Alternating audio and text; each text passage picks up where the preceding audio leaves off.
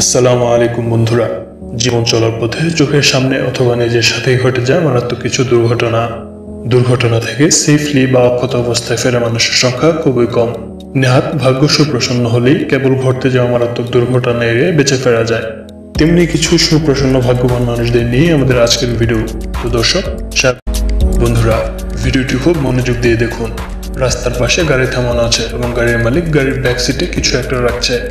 ঠিক সেই সময়টাতে একটা ছোট বাচ্চা গাড়িটির একদম সামনে এসে বসেছে। বাচ্চাটি ছোট হওয়ার কারণে এবং গাড়ির মালিক অন্যমনস্ক হওয়ার কারণে বাচ্চাটিকে খেয়াল না করেই তার উপর দিয়ে গাড়ি চালিয়ে দেয়।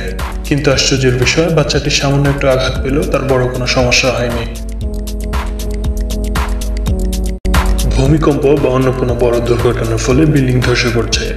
দূরে দাঁড়িয়ে কৌতূহলের দর্শকরা তা দেখছে। কেউ কেউ আবার ভিডিও করছে, ঠিক সেই মুহূর্তে বুলেট গতিতে একটি পাথর ধেয়ে আসে।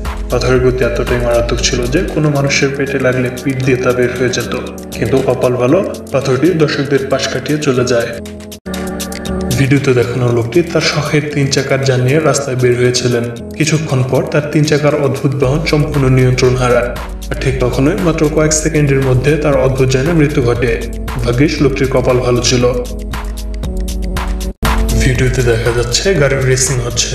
অসংখ্য দর্শক সেটি উপভোগ করছে। কেউ কেউ ছবি তুলছে, আবার কেউ কেউ ভিডিও করছে। ভিডিওতে দেখানো ভাগ্যবান লোকটিও ক্যামেরা নিয়ে ছবি তুলছিল। সে রোডের পাশে সিট জেনে থেকে তার কাজ করছিল। কিন্তু হঠাৎ একটি গাড়ি নিয়ন্ত্রণ হারিয়ে ঠিক সেখানেই চলে আসে, যেখানে লোকটি ক্যামেরা নিয়ে বসে আছে। মাত্র কয়েক সেকেন্ডের ভেতর ঘটনাটি ঘটে যায় এবং হতভম্ব ক্যামেরাম্যান ভাগ্য বলে মারাত্মক দুর্ঘটনা এড়িয়েছে বন্ধুরা, আমরা যারা নিয়মিত ব্যস্ত সড়কে চলাফেরা করি, তাদের জীবনে একবার হলেও এমন ঘটনা ঘটেছে নিশ্চয় বিশেষ করে ঢাকা শহরের ব্যস্ত রাস্তা, ফুট ওভারব্রিজ ব্যবহার না করে বা ট্রাফিক আইন না মেনে যখন পার হতে যাই তখন হঠাৎ করে ঘটে যায় এমন মারাত্মক দুর্ঘটনা। সবার ভাগ্য যে ভিডিওতে দেখানো লোকটির মতো সুপ্রসন্ন হবে তা কিন্তু নয়। সামান্য এদিক সেদিক হলেই ঘটে যেতে পারে মারাত্মক সব দুর্ঘটনা। দর্শক, এসব দুর্ঘটনা এড়াতে আমাদের সকলের উচিত কষ্টকর হলো ফুট ওভারব্রিজ ব্যবহার করা এবং যে সকল জায়গায় ফুট ওভারব্রিজ নেই, সেসব জায়গা দেখে শুনে এবং ট্রাফিক আইন মেনে চলাচল করা।